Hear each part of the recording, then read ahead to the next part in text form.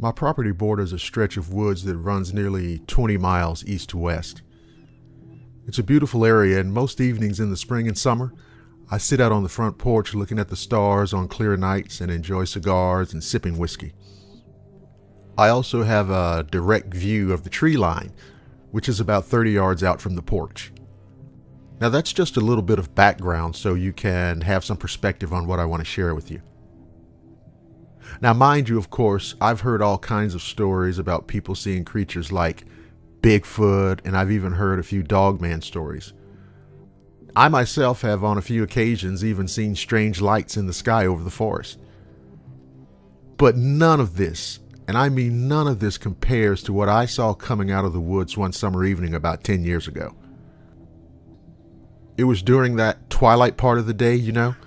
It's not dark, but the sunlight has started to fade. I was doing what I usually did, like I said, enjoying a hand rolled Dominican cigar and relaxing. Now, I'd only been out on the porch for about 15 minutes when I heard a commotion in the woods.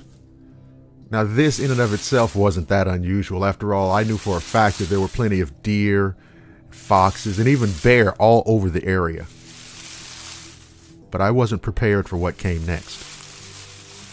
Out of the tree line, a young buck came barreling out in full stride. But it was the thing that came out after it that made my blood run cold. Hot on the heels of the buck was what I can only describe as a, a satyr. You know those things from Greek mythology that are a goat from the waist down? I know how it sounds, but that's exactly what this thing looked like.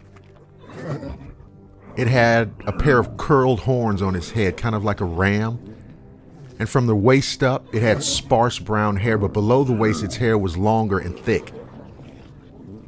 It was also shocking to see how fast this goddamn thing could run because it was actually running this buck down. Now, the chase went on for about a hundred yards as both the deer and the creature paralleled the tree line. Then the buck cut right and dashed back into the woods in an attempt to avoid capture. The thing also broke to the right and followed the buck. I remember sitting there in an absolute daze and thinking, what the fuck did I just see? Although there was absolutely no doubt whatsoever about it, aside from the fact that what I saw could not possibly exist, my two eyes informed me otherwise. Of course, later on, I read about the creature that some people call the Goat Man, and I wondered if the thing I saw was something similar. I'm not sure. But I can tell you, the creature that I saw that day looked just like the ancient Greek depictions of Pan, the god of the woods.